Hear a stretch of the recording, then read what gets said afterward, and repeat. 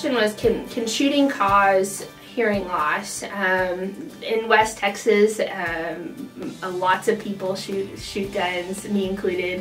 Um, and so it is it is a definitely a problem. It's something that we actually ask our patients on a regular basis as far as their noise exposure um, questions. We'll say, you know, are you have you shot guns? Did you grow up shooting guns? A lot of people will say, well, I shot them when I was younger, but now I haven't in years. Um, one shot um, without hearing protection can cause permanent hearing damage. So an impulse noise of 140 decibels at one time can cause permanent damage. So depending on the gun that you're shooting, um, it can in one shot cause the damage. Um, even if you're not the one shooting the gun, if you're with somebody that's shooting the gun, it's actually probably worse just because the person shooting the gun is cocking their head a certain way and so they're getting damage to one ear. But if you're sitting right next to them you're getting the blunt of the of the shot as well. So it's important if you're both the shooter and the person that's um,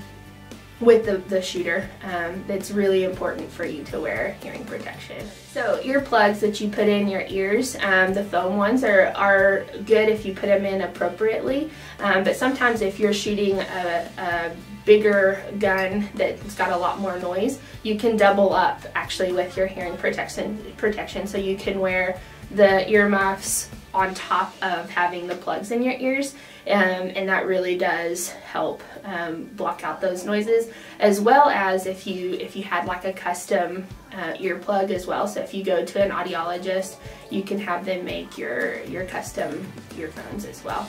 Um, so those those would actually be made for your ears so you know for sure that it's in appropriately and then you can also double up with those too.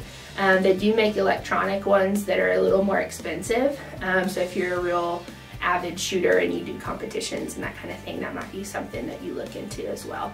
So the way that you'll know that um, you have hearing damage through shooting a gun would be um, real similar to like going to a concert or listening to music too loud through your headphones.